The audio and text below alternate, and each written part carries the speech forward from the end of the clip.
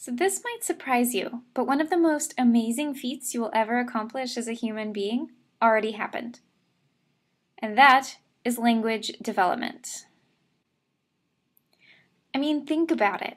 When you're a baby, all these sounds are coming at you, and somehow you're able to figure out which sounds are words, where there are breaks between the words, general grammatical rules, and you're able to apply them without any real formal training. This is amazing. So naturally, a lot of research has been done into how this ability develops, and I'm going to tell you about the three main theories that look at language development. So first, we start out with the nativist or innatist perspective.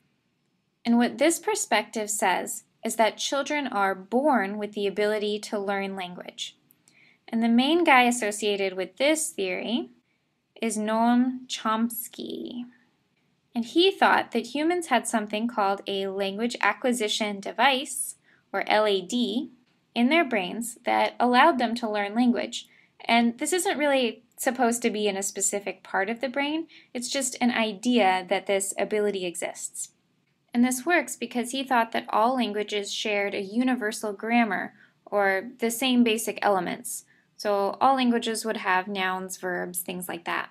So the language acquisition device enables the child to pick up on and understand those types of words and their organization within a sentence for any language. This goes along with the idea that there is a critical period or a sensitive period.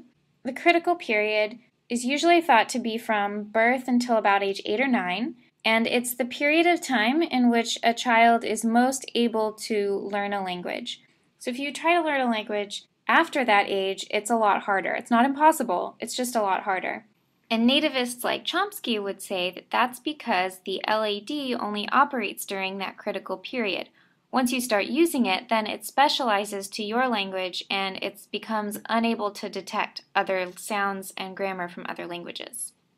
Second theory I want to tell you about is the learning theory. Learning theorists think that Children aren't born with anything, they only acquire language through reinforcement. So, learning theorists would say that a child learns to say mama because every time it makes a sound that kind of approaches that, so m something, then mom starts smiling, hugging the child. So, over time, the child learns, oh, the more I make this sound, the more I get mom's hugs and smiles. And so then eventually it learns to say ma, and then say it again and learns to say mama. So this makes sense, but a strict learning theory doesn't explain how children are able to produce words they've never heard before or produce unique sentences. So we have another theory called the interactionist approach.